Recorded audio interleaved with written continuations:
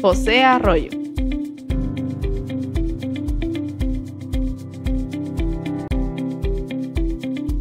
Ya viene. Ministerio Jesucristo, Rey y Señor, con el licenciado José Arroyo.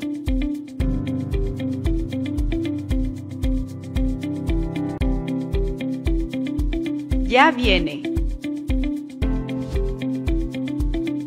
Ministerio Jesucristo, Rey y Señor, con el licenciado José Arroyo.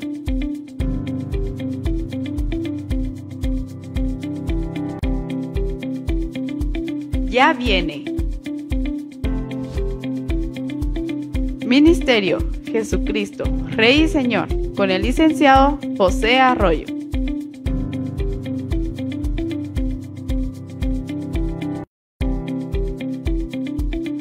Viene.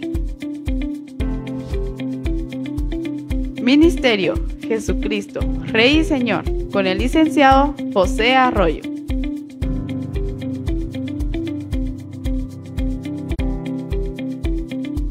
Ya viene. Ministerio Jesucristo, Rey y Señor, con el licenciado José Arroyo.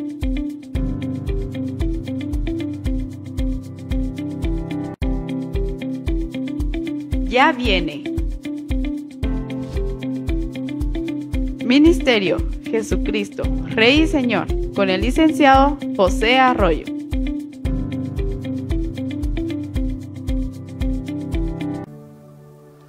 Muy buenas tardes, nuevamente estamos acá para un estudio más del Ministerio Jesucristo Rey y Señor. Y damos gracias a Dios por este privilegio y por la oportunidad de poder estudiar con ustedes, comentar, analizar la palabra de Dios. Vamos a dar inicio a este programa orando para pedir la dirección y la guianza de Dios. Padre, en el nombre de Jesús estamos rogándote que sea tu Espíritu Santo el que nos dé la inteligencia, la sabiduría y la capacidad, Señor, de entender tu palabra, de poder atesorarla en nuestro corazón para ponerla por obra y así agradarte. Padre, en el nombre de Jesús oramos para que tú reveles cuál es tu voluntad para mi vida y para la vida de los televidentes. Lo pedimos en el poderoso nombre de Jesús. Amén y amén.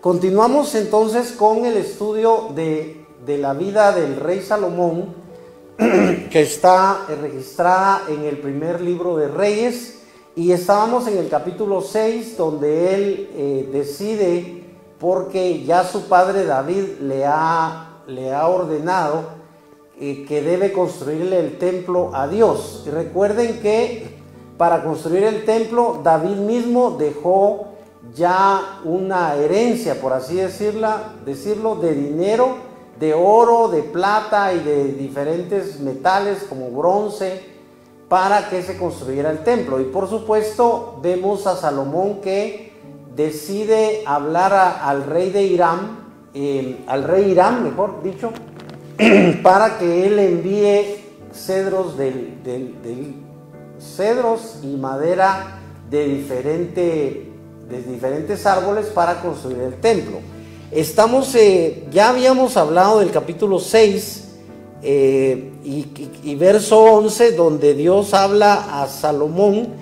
Vamos a repetir esos versículos que solo son tres. Dice, y la palabra de Yahvé fue dirigida a Salomón diciendo, en cuanto a la casa que tú estás edificando, si andas en mis estatutos y pones por obra mis juicios y guardas todos mis mandamientos para andar en ellos, yo cumpliré contigo mi palabra que hablé a tu padre David. Tabernaculizaré, recuerden que usamos aquí, usa esta palabra la, edición Stuttgartensia, usa tabernaculizaré, que, quiere decir habitaré, según la Reina Valera, cuando leemos ese mismo verso, em, que es el 13, dice, habitaré en ella, en medio de los hijos de Israel, y no dejaré a mi pueblo Israel. Y en la otra versión dice, tabernaculizaré en medio de los hijos de Israel y no abandonaré a mi pueblo Israel. Entonces acá tenemos una promesa de Dios, pero como todas las promesas está condicionada, porque recuerde que recuerden que el Señor le dice a Salomón, si andas en mis estatutos y pones por obra mis juicios y guardas todos mis mandamientos para andar en ellos. O sea, esta es la condición que Dios le pone a Salomón. Entonces Salomón se, embarca en la construcción del templo y el templo, eh, habíamos dicho que mide 18 metros de frente. Eso está, eh, vamos a ver, el, em, está, bueno, el templo tiene 27 metros de largo por 9 metros de ancho por 13.5 de alto. Eso está siempre en el capítulo 6, al principio, en el verso 2 al 5. Eh, además, recuerde que, recuerden que había aposentos a, a, los laterales, por así decirlo, del templo, ¿verdad? Em, las medidas del templo de 18 metros de frente está en el verso 17. Dice, la casa, es decir, la nave de delante tenía 40 codos. Y recuerden que cada codo equivale a 45 centímetros, entonces cuando multiplicamos 40 por 45 nos da 18 metros. Pero como el codo era la unidad de medida, ¿verdad? En ese tiempo no se había establecido el metro como unidad de medida. Y lo interesante es que tenía 40 codos. Recuerden que en la Biblia hay mucha numerología, o sea, hay mucho simbolismo o significado de los números. Recuerden que el número 40 es un número especial porque, por ejemplo, fueron 40 años los que el pueblo de Israel tuvo que vagar por el desierto por causa de su rebelión. Así que el número 40 podría decirse que es el número de prueba. También recuerden que Jesucristo mismo hizo 40 días de ayuno. O sea, el número 40 es un número que simboliza, tiene un significado en la escritura, ¿verdad? Em, pero traducido a metros, tenemos que el templo tenía 18 metros de frente. Em, recuerden que el templo tenía básicamente tres partes la nave principal del templo estaba dividida en tres partes, ustedes saben. La primera parte era el, atrio, que es donde realmente se eh, ofrecen los sacrificios. Recuerden, ya lo hemos dicho muchas veces, que el templo de, en este caso, el templo de Salomón, que era una copia del tabernáculo de Moisés, no era para las personas. El templo era para Dios. Y es interesante cómo las culturas antiguas, incluso culturas anteriores al pueblo de Israel, eh, tienen el concepto de que los templos no eran para las personas, sino que si ustedes analizan, por ejemplo, en la mitología griega, que es la religión de los griegos, ¿verdad? Y la, la mitología romana, que es básicamente la misma mitología griega, solo que con diferentes nombres. O sea, los romanos absorben los, las creencias, las mismas creencias de los griegos, pero les cambia el nombre a los dioses, ¿verdad? Entonces, em, en, en ambas culturas o en ambos imperios, los templos eran para los dioses. Entonces, había un templo para Diana, un templo para, para Apolo, ¿verdad? Para los diferentes dioses griegos y para los diferentes dioses romanos. Recuerden que Marte era el dios de la guerra para los romanos. Así que em, tenemos aquí ya el concepto de alguna forma, este concepto de que el templo no es para la gente, sino los templos son para los dioses, en el caso de las culturas paganas, y el templo de Salomón era para el Dios verdadero, para el Dios único. Entonces decíamos, decíamos, está dividido en, la entrada que es el atrio, pero el atrio tampoco es para que las personas lleguen, como dicen actualmente, a turistear, ¿verdad? Porque la gente está acostumbrada a, conjugar los sustantivos, ¿verdad?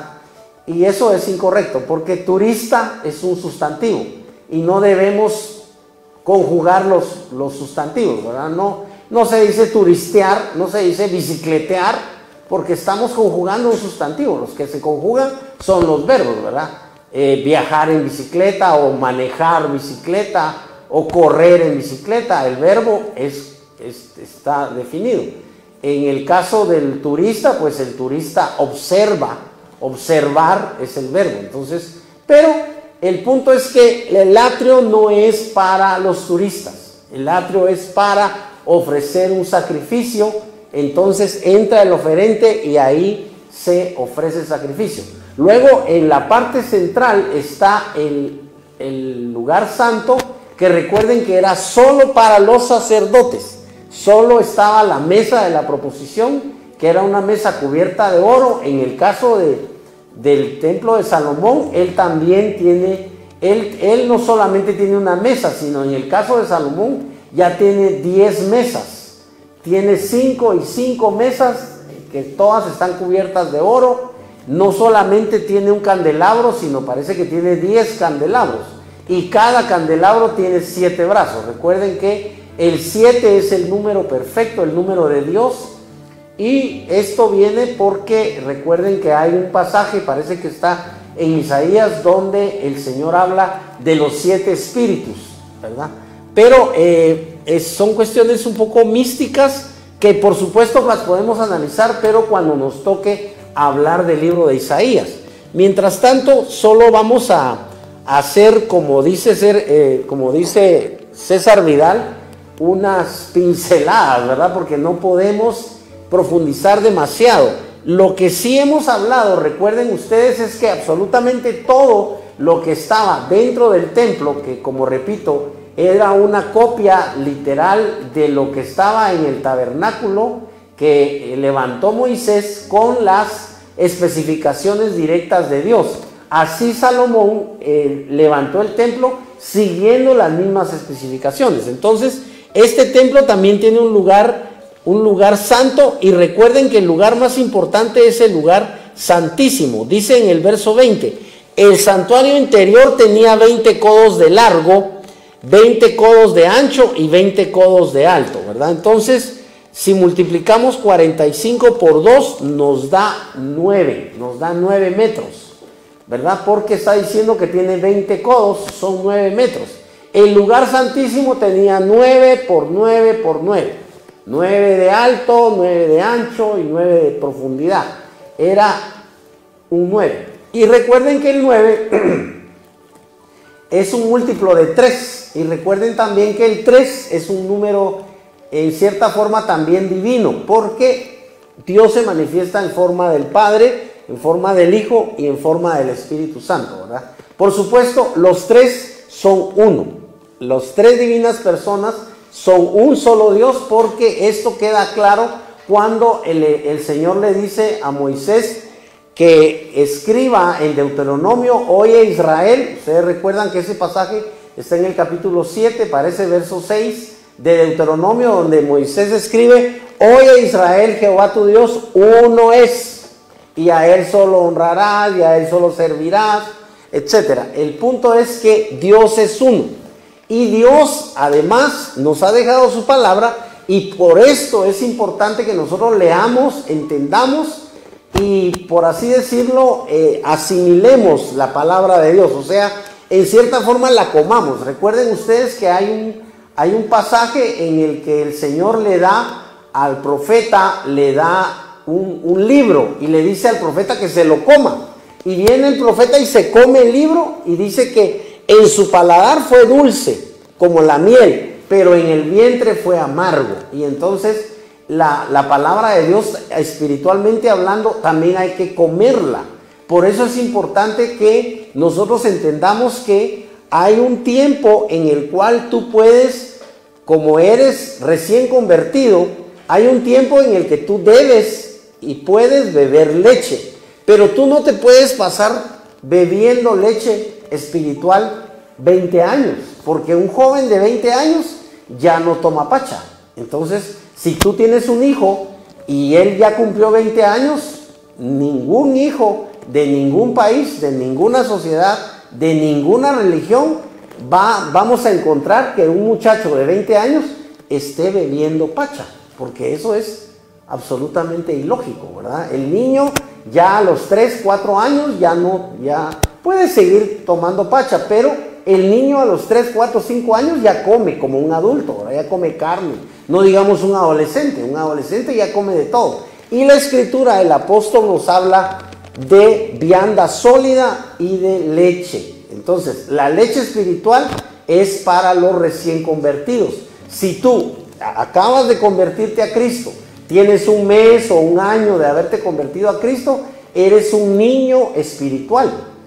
Por eso es que es muy importante tener en cuenta que no a veces no conviene que una persona que recién se convirtió ya comience a ser evangelista, eh, se tire, como decimos, se tire para pastor y de repente quiere ser apóstol y solo tiene año y medio de haberse convertido. La Biblia dice que es un neófito, o sea, es un principiante. Recuerda que todas las cosas de la vida, así como la vida espiritual, requieren de un proceso. La Biblia habla de la leche espiritual para los niños en Cristo. Los niños en Cristo son los que acaban de nacer. ¿Cuántos meses tiene un niño? tres meses, seis meses, un año, sigue siendo un bebé. Dos años, sigue siendo un bebé. Es un niño pequeño, pero dos años, realmente el niño apenas si puede hablar. Tal vez cinco o seis años ya es un niño al que tú puedes mandar a la tienda, por ejemplo. Pero tú no puedes mandar a un niño de año y medio a que salga a la calle porque te lo pueden matar, te lo pueden atropellar o te lo pueden robar. Ninguna madre jamás saca a su hijo de un año, de año y medio, lo, deja ir a la calle solo. Aparte se juega en el patio. El punto es que tú necesitas madurar espiritualmente y necesitas comer de la palabra de Dios. Por eso tú mismo debes estudiar la palabra de Dios. Ese es el objetivo de estos estudios. Que tú madures, que tú comas la palabra, dice, vianda sólida. Entonces, por supuesto, hay predicadores, hay eh, apóstoles, hay maestros que tienen un mensaje mucho más, más sólido que el, que el que el Señor me permite darles, pero considero que el mensaje que el Señor nos da a través de este programa es para cristianos que tienen cierta estatura, porque a veces tocamos temas un poco delicados, ¿verdad? Entonces que requieren de mucho criterio. Así que eh, por supuesto, si, tú estás empezando en el Evangelio, tomas lo que tú consideras que te va a edificar y lo que no entiendes o lo que sientes que es muy, por así decirlo, muy pesado, ¿verdad? Eso no lo tomas. Ahora, eh, este santuario entonces dice que el lugar santísimo tiene eh, nueve metros, nueve metros cuadrados. Y lo más importante que está en el lugar santísimo es el arca. Recordemos que el arca es el arca del pacto o el, arca del testimonio. Recordemos que dentro del arca tenía que, estar las tablas de la ley escritas en piedra que simbolizan la palabra de Dios. Pero recuerda que la, la palabra de Dios se materializó. Recuerda que la escritura dice que todas las cosas que se ven fueron hechas de lo que no se ve. Dice la escritura, de modo que las, las cosas que se ven son hechas de lo que no se ve. ¿Y qué es lo que no se ve? La palabra de Dios. Por la palabra de Dios, dice la escritura en Hebreos, fueron constituidos los cielos y la tierra. O sea, para que existiera todo, tal y como aparece en el Génesis, Dios habló. Lo que pasa es que sabemos que los científicos, tú ya sabes que los científicos son incrédulos.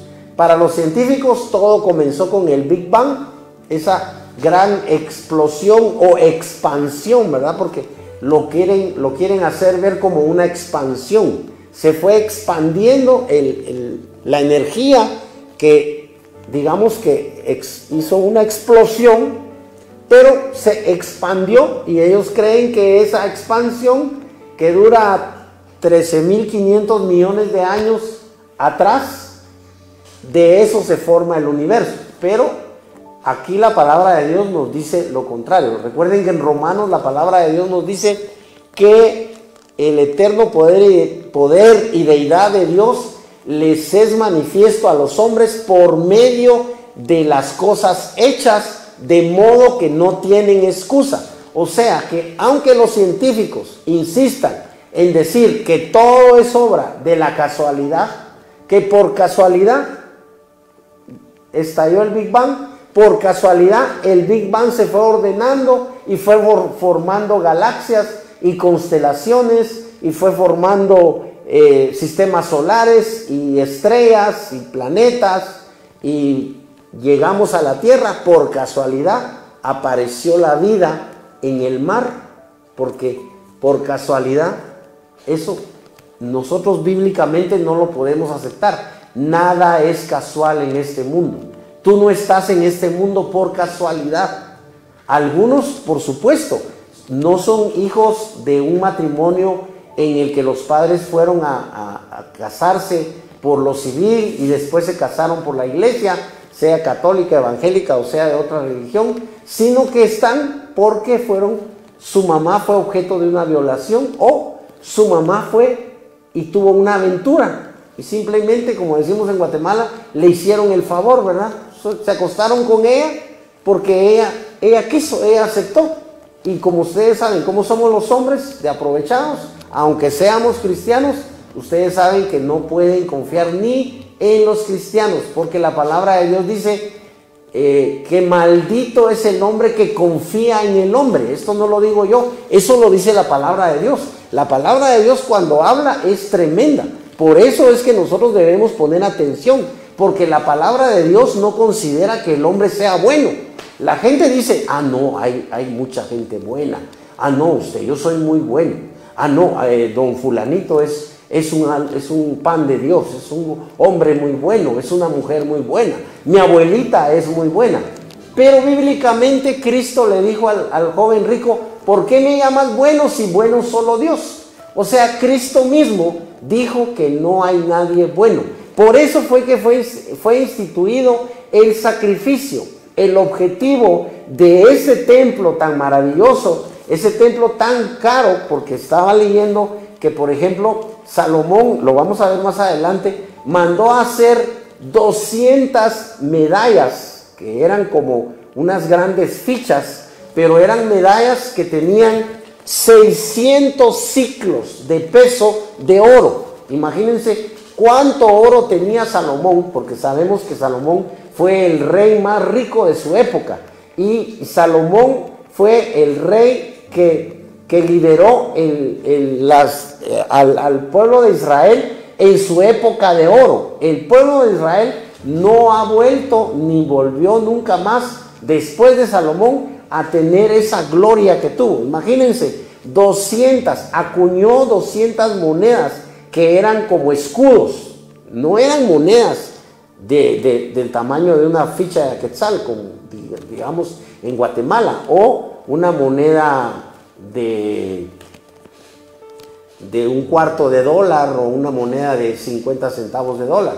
Era eran, eran, eran monedas enormes porque tenían 600 ciclos de peso de oro y cada ciclo estaba leyendo que oscilaba entre los 11 y los 17 gramos. Entonces yo tomé un número intermedio, digamos 15 gramos, de, de 15 gramos cada ciclo y al multiplicar 600 por 15 nos da 9000, 9000. Y como ustedes saben que el kilo tiene 1000 gramos, estamos hablando de, una, de, un, de un escudo que tenía o pesaba 9 kilos de oro puro.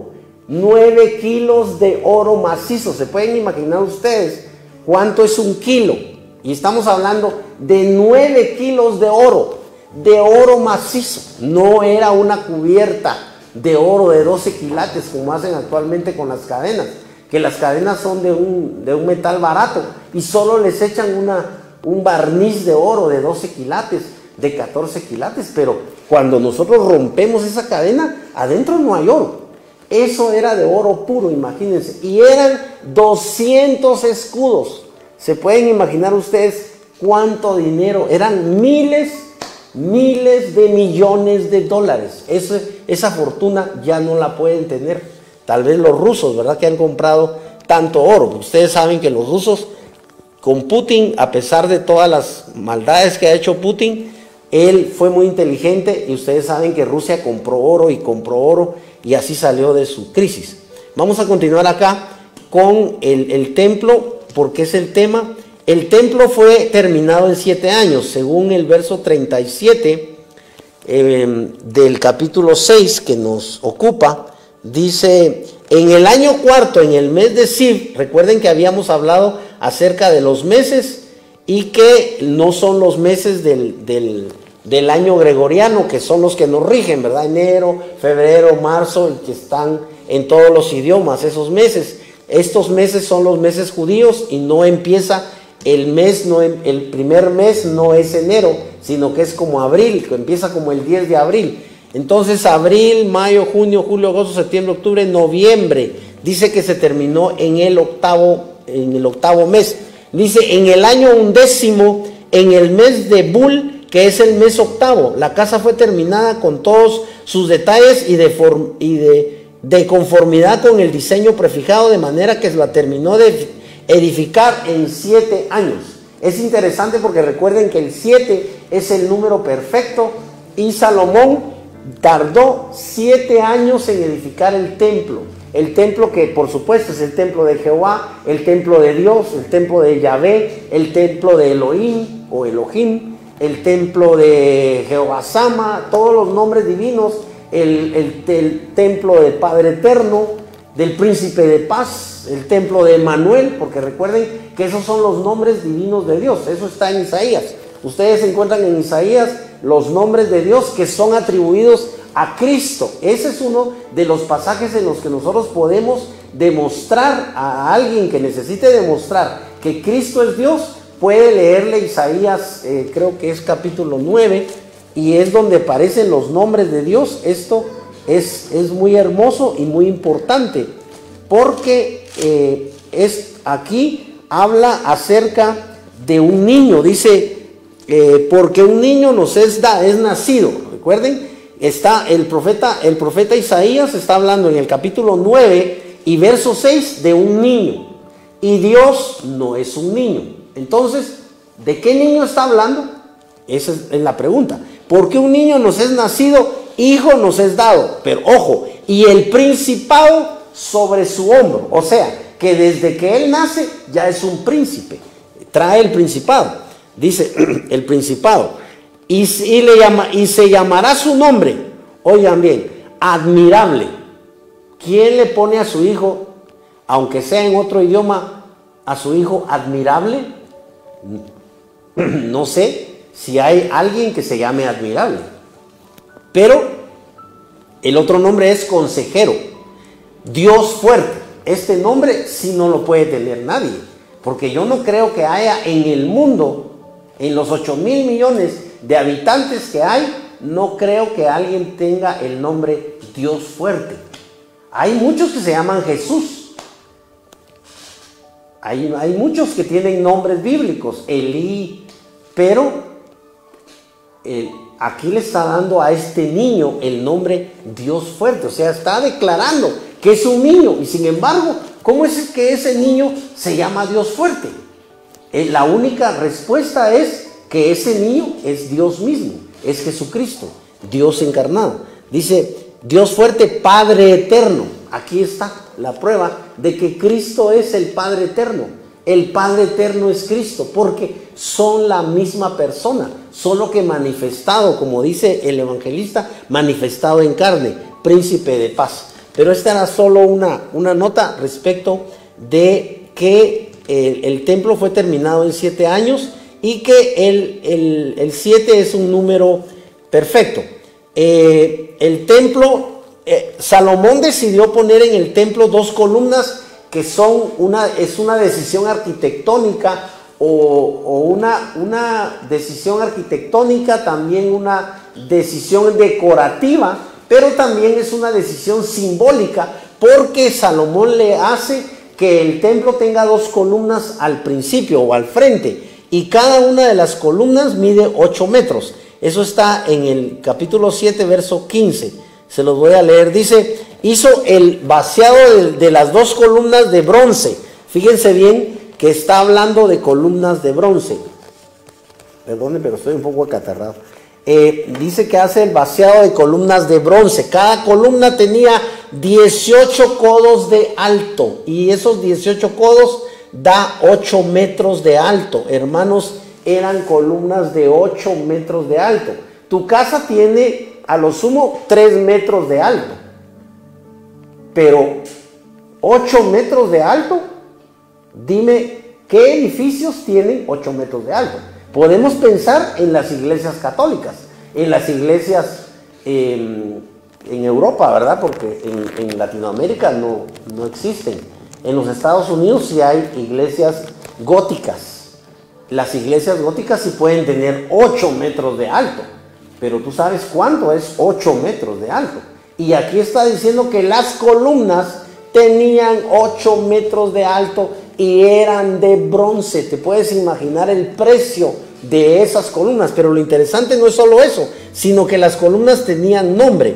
Vamos a leer, estamos em, em, en el 15 y en el 21. Dice en el 15 ya leímos, y un cordel de 12 codos medía la circunferencia de una y otra columna. Imagínense, 12 codos, o sea, 4 eh, por, 4 por 12, ¿verdad? e hizo capiteles de bronce fundido para que fueran puestas en las cabezas de las columnas. Un capitel tenía cinco codos, 5 por 4, 20, tenía dos metros el capitel, dos metros tenía solo la parte de arriba. Tú sabes que el capitel es como la cabeza de la columna. Tenía dos metros solo el capitel. Dice, eh, el capitel tenía cinco codos de alto. Un capitel tenía cinco codos, o sea, dos metros, y el otro capitel tenía también dos metros. Había redes de obra de malla y trenzas de obra de cadenía para los capiteles que estaban en, la en las cabezas de las columnas, siete para un capitel y siete para el otro capitel. ¿Te das cuenta? Vuelve a usar el número siete, que es el número de Dios.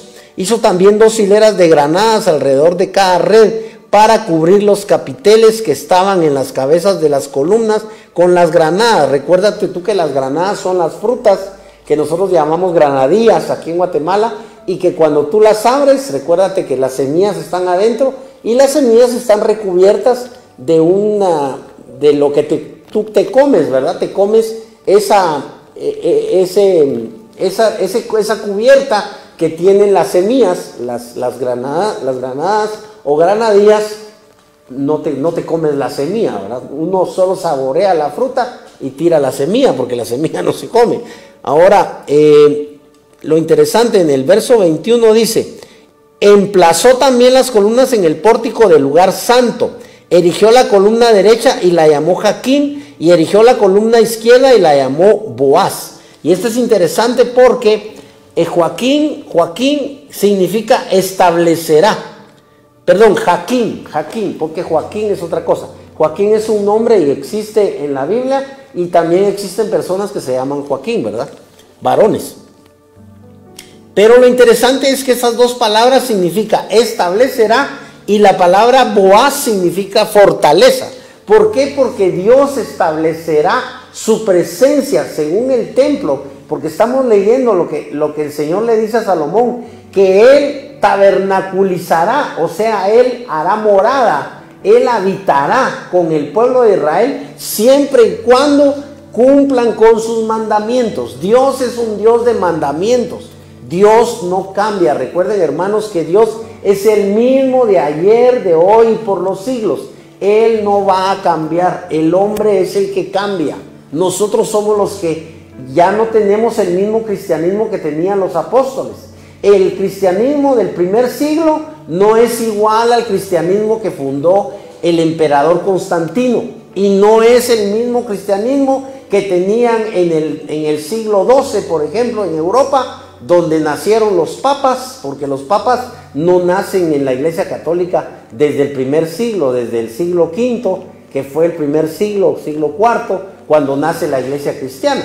La iglesia cristiana, ustedes saben que no nace como la iglesia católica. Lo que pasa es que con los siglos la iglesia se fue transformando y el clero, que ustedes saben que son las autoridades, fueron cambiando las escrituras y ellos fueron introduciendo, por ejemplo, el culto a las imágenes o la veneración a la Virgen y todas las cosas que ustedes ya saben que son temas delicados, porque hay personas a las cuales tú no les puedes hablar a la, de la Virgen, porque te dicen Dios guarde, no vaya a tocar a la Virgen, no vaya a decir nada, porque es pecado, ¿verdad? Entonces, pero nosotros sencillamente debemos conocer la palabra de Dios. Si tú en la, en la palabra de Dios no encuentras que hay que venerar a la Virgen, entonces no hay que venerarla. Y si tú en la palabra de Dios encuentras que no hay que dirigirse hacia una imagen de un personaje que ya está muerto, sea el apóstol Pablo, sea el apóstol Pedro, sea el profeta Juan, sea el profeta Isaías, sea la Virgen María, sea la Virgen Magdalena, ningún personaje, si la Biblia no te autoriza a que tú acudas a un personaje que ya murió, tú no debes hacerlo. El problema es que la gente no conoce la palabra de Dios. Tú debes dirigirte a Dios y recuerda que no puedes dirigirte personalmente a Dios en tu nombre. No puedes dirigirte a Dios en tu nombre porque Dios no te va a escuchar. La palabra de Dios dice, si alguno hace la voluntad de Dios, Dios a ese oye. ¿Y cuál es la voluntad de Dios? Que reconozcamos a Jesucristo, que aceptemos a Jesucristo, que nos rindamos a Jesucristo porque también está escrito que no hay otro nombre dado a los hombres en el cual podamos ser salvos, solo en Jesucristo. Recuerda lo que Pablo le dijo al, carcelero cuando, cuando estaban presos, eh, perdón, Pedro parece que fue, que estaban presos y entonces Dios los, los liberó con un terremoto.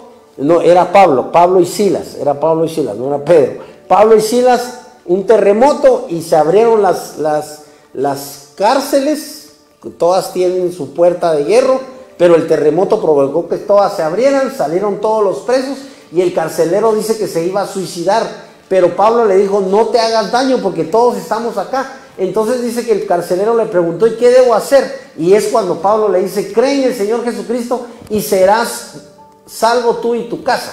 Y dice la escritura que, eh, que no hay otro nombre en el cual podamos ser salvos, pero también dice que solo podemos llegar al trono de la gracia, solo podemos llegar al Padre a través del Hijo. Nadie llega al Padre si no es por Jesucristo. Eso tú ya lo sabes, pero es muy importante porque hay personas que no lo saben.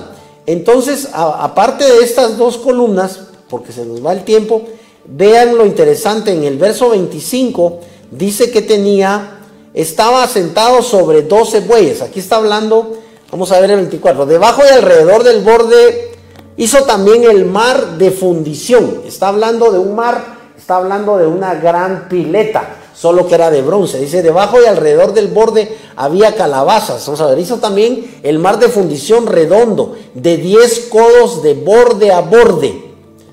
5 codos de alto y 30 codos de circunferencia. Imagínate tú. 30, 3 por 4, 12, son 12 metros. Tenía 12 metros de circunferencia.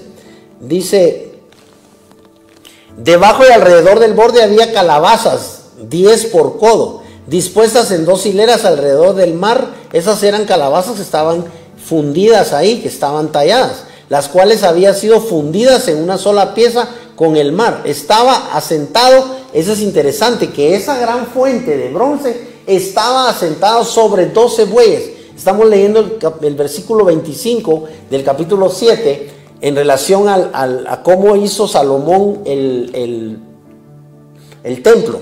Y en este caso, el mar. Ellos le llaman mar, pero es una, es una fuente, ¿verdad? Es una gran eh, perola, digamos, que tiene agua. Dice, estaba sentado sobre 12 bueyes, tres miraban al norte, tres al, al occidente tres al sur y tres al oriente, o sea, tres al norte, tres al sur, tres al este y tres al oeste. Doce. Tú te preguntarás por qué. ¿Por qué no diez? ¿Por qué no ocho? ¿Por qué no siete? Eran doce. Es interesante porque recuérdate que, que había doce tribus. El doce es un número importante para Dios. Comenzando con las doce tribus, que sabemos que son los doce hijos de Jacob. Y ya sabemos que Jacob tuvo cuatro esposas, entonces el pueblo de Israel es fruto de un personaje que es Jacob, que era polígamo, en un momento histórico en el que la poligamia no era pecado, porque Dios no juzgó para nada, no condenó para nada, no castigó para nada a Jacob porque él tenía a Lea, a su hermana Raquel, y cada una de sus esposas le dio una criada para que fuera también mujer. Así que como tenía dos esposas y cada una le dio una criada, él tuvo cuatro mujeres y de esas mujeres tuvo doce hijos. Actualmente tú ya no puedes porque ya normaron el matrimonio y como dicen los, los mexicanos, ya nos amolamos porque tú, tú solo puedes tener una esposa. Sin embargo, tú sabes que no solo en el mundo que no conoce a Cristo, sino dentro de la iglesia de Cristo hay personas que no aman a su esposo. Hay hermanas que no aman a su esposo y hay hermanos que no aman a su esposa. Por eso la palabra de Dios, recuérdate que dice, amad a vuestras esposas. Y a las esposas les dice, sujetaos a vuestros maridos. Perdón. Es porque estoy acatarrado, perdón. Entonces, el, asunto aquí del, del mar este es que dice que su espesor era de un palmo menor y su borde como el borde de un cáliz de una flor de lirio. Y su capacidad era de 2000 vatos. Imagínense ustedes. El vato también es una medida antigua. Hizo también las 10 bases de bronce. Bueno, solo quería ver el asunto de los 12 porque recuerden que había 12, 12 tribus, que hubo 12 apóstoles y estaba leyendo, porque ya lo, ya lo sabía, que recuerden ustedes que en el Apocalipsis se vuelve a dar una visión que le da el Señor al profeta Juan y le muestra que hay 24 ancianos. Pero como eso ya es en el cielo, ya es en el Apocalipsis, ya es al final de los tiempos, esos, dos, esos 24 ancianos son los 12 patriarcas, ¿verdad? Sobre los cuales se funda la nación de Israel y los 12 apóstoles. Por eso 12 más 12, 24. Ya se nos está yendo el tiempo, vamos a ver hasta dónde llegamos. Eh, la, en el verso 48, casi que vamos a terminar con esto, dice, Salomón hizo también todos los utensilios de la casa de Yahvé, el altar de oro. Recuerden ustedes que el altar era para hacer el sacrificio. Recuerden que hablamos de la, de la fuente, la fuente era de, de bronce, la fuente no era de oro, pero el altar donde ardían los animales que sacrificaban era de oro. Miren, el altar era de oro. La mesa de oro sobre la cual estaba el pan de la proposición. Los cinco candelabros de oro puro que estaban al sur y los otros cinco al norte. O sea, había cinco al norte y cinco al sur. Ya se dieron cuenta. Había 12 candelabros, eh, 10 candelabros.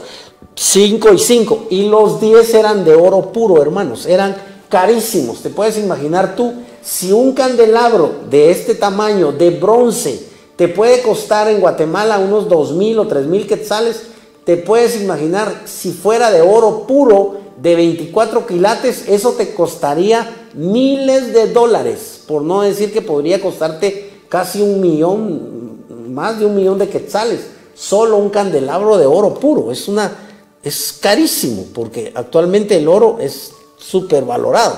Dice eh, los cinco candelabros de oro puro que estaban al sur y los otros cinco al norte, delante del lugar santísimo con las flores, las lámparas y las tenazas de oro. Todo era de oro, hermanos. Asimismo hizo de oro puro las copas, los despabiladeras. Recuerden que las despabiladeras era para apagar los, eh, la, luz, ¿verdad? Para apagar las, las, eh, las lámparas, ¿verdad? Las lámparas, recuerden ustedes que que eran de aceite, ¿verdad? Había, el aceite era el que ardía. Entonces las despabiladeras era para apagarlo. Los aspersorios, las cucharas y los incensarios. Los incensarios eran de oro, hermanos. También eran de oro los goznes de las puertas de la sala interior del lugar santísimo y los de las puertas de la sala de la casa. Así se completó toda la obra que el rey Salomón hizo cara para la casa de Yahvé y Salomón introdujo las cosas que su padre David había consagrado y puso la plata y, el oro y los utensilios en la tesorería de la casa de Yahvé. La tesorería de la casa de Yahvé, se pueden imaginar ustedes era un lugar donde había oro y plata y había piedras preciosas. Y eso no era propiedad de los sacerdotes, era propiedad de Dios porque era la casa de Dios, no era la casa de los sacerdotes. Actualmente, casa de Dios es un, es un templo que construyó Cash Luna y las propiedades están a nombre de Cash Luna, no están a nombre de Jesucristo, no están a nombre de Dios, porque no hay ningún pastor del mundo que construya un templo y que el dueño sea Jesucristo. Por supuesto, todos los pastores dicen, esta casa es la casa de Dios, es la casa de mi padre y es la casa de tu padre, porque somos hijos de Dios, pero a la hora de lo legal, la tierra es propiedad de un humano, y en este caso es un pastor, es el pastor fulano de tal, y él es el dueño del terreno, y él es el dueño del templo. Por eso en ese tiempo no, en ese tiempo todo el oro y toda la plata que había dentro del templo no era propiedad de los sacerdotes. Los sacerdotes no predicaban en ese tiempo, el concepto es completamente diferente. Los sacerdotes hacían el sacrificio y solo el sumo sacerdote una vez al año entraba al lugar santísimo y si no entraba moralmente bien, se moría y había que jalarlo. Por eso entraba con un lazo amarrado al pie. Porque si ya no hacía bulla al caminar, porque él tenía unas campanillas que tenía en el manto, y si ya no hacía ruido, lo jalaban porque había muerto, porque había entrado. Por eso el sumo sacerdote debía ofrecer un sacrificio primero por sus pecados y después ofrecía una vez al año un sacrificio por todo el pueblo. Y cada vez que alguien pecaba tenía que hacer un sacrificio porque estaba establecido. Por eso estábamos hablando acerca de que Dios es el mismo. Dios es el mismo que inspiró el decálogo. Si tú quieres saber cuáles son los mandamientos de Dios, lee el, Éxodo capítulo 20 y ahí está claramente cuando dice, no te harás imagen de lo que está en el cielo, ni de lo que está en la tierra, ni de lo que está debajo de la tierra, y no las honrarás. O sea que no debes honrar a una imagen de Jesucristo. Tú debes honrar a Jesucristo resucitado. Pero Jesucristo resucitado es invisible. No puedes tú hacer una imagen de Jesucristo porque no sabes cómo era. No sabes si tenía piel morena o piel blanca o, si parecía árabe. Tú ves las películas y en todas las películas Cristo parece moreno, parece árabe. ¿Por qué? Porque los judíos viven en un desierto. En un desierto hay sol. Inevitablemente los judíos puede que nazcan blancos, pero con el sol se ponen morenos. Los, los judíos parecen árabes. El punto es que no sabemos cómo era Cristo. Y recuérdate que a raíz de que Él fue crucificado, dice que lo desfiguraron. El rostro de Cristo quedó completamente desfigurado. Recuérdate que le pegaron con la vara, le arrancaron con las manos, le arrancaron la barba. ¿Cómo puede estar la piel cuando te arrancan la barba, los que son barbados? Le pegaron con una vara, lo abofetearon, le pusieron la corona de espinas él quedó irreconocible. Cristo quedó, dice que una persona tuvo una visión de cómo quedó Cristo y Cristo quedó como una, una, una bola de, de carne molida, solo que con forma de hombre. Pero Cristo fue molido, porque lo dice Isaías, porque el Señor estableció que la paga del pecado es muerte y sin derramamiento de sangre no se hace remisión, o sea, no se hace perdón de pecados. Por eso es que Cristo tuvo que morir y él mismo se ofreció. Recuerden que él le dijo a los discípulos, no me quitan la vida, sino que yo pongo mi vida, yo mismo ofrendo mi vida. Recuerden que Cristo es la ofrenda. Él se ofreció, Él se ofrendó al Padre como ofrenda. ¿Por qué? Porque Él es el Cordero de Dios que quita el pecado del mundo. Desafortunadamente ya se nos fue el tiempo. Vamos a orar para quedar despedidos. Padre, en esta hora te damos infinitas gracias por tu palabra. Señor, en el nombre de Jesús proclamamos que esta palabra es tuya, Padre. En el nombre de Jesús, Señor, que los televidentes puedan abrir su Biblia, puedan leer las diferentes versiones que hay de tu palabra y puedan ellos recibir de parte tuya la revelación de que lo que está escrito allí nos conduce a Cristo y que Cristo y solo Cristo nos conduce a ti. Padre, en el nombre de Jesús oramos para que haya una revelación en las vidas de los televidentes, Señor, de la, de la persona divina de Jesucristo, porque es Jesucristo quien, quien fue crucificado, quien derramó hasta la última gota su sangre divina, el que nos puede perdonar los pecados, el que puede limpiar nuestra alma, el que puede limpiar tu alma, se llama Jesucristo, el que puede perdonar tus pecados, se llama Jesucristo, pero tú debes acudir a Jesucristo por fe, tú debes rendirte a Jesucristo por fe, tú debes recibir a Cristo, tú debes decirle, Señor, sí creo en ti, Señor, te recibo, Señor, te abro la puerta de mi corazón, tú no debes ser indiferente. Si tú eres indiferente, si tú no recibes la palabra de Dios con fe, sino solo con la mente y piensas que por telepatía te vas a salvar, estás equivocado la escritura dice, si confesares con tu boca, no dice por telepatía, si confesares con tu boca que Jesús es el Señor, serás salvo.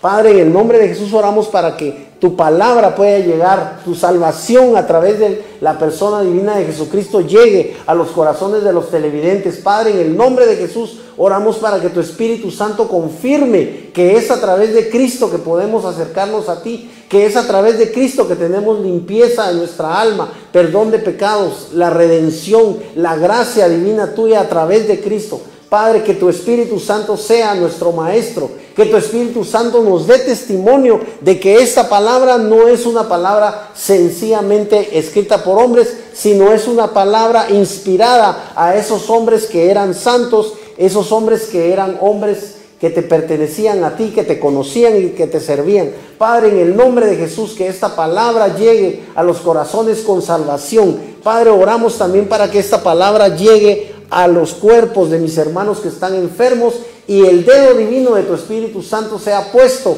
en los cuerpos enfermos. Padre, en el nombre de Jesús, en los cuerpos que necesitan liberación, Padre, oramos para que ese dedo divino de tu Espíritu Santo, que es todopoderoso, libere a mis hermanos que están, que están oprimidos, Padre, que necesitan liberación también aquellos que necesitan sanidad de su mente, que tienen problemas psicológicos, Padre, en el nombre de Jesús, que están deprimidos, que están tristes, que, han pensado en suicidarse, Padre, en el nombre de Jesús, echamos fuera todo, todo demonio y toda influencia negativa, diabólica y de muerte de la vida de mis hermanos, Padre, y oramos para que haya un espíritu de vida, haya una presencia de tu Espíritu Santo, dándoles la vida eterna en Cristo Jesús. Padre, te damos infinitas gracias en el nombre poderoso de Jesús. Amén y amén.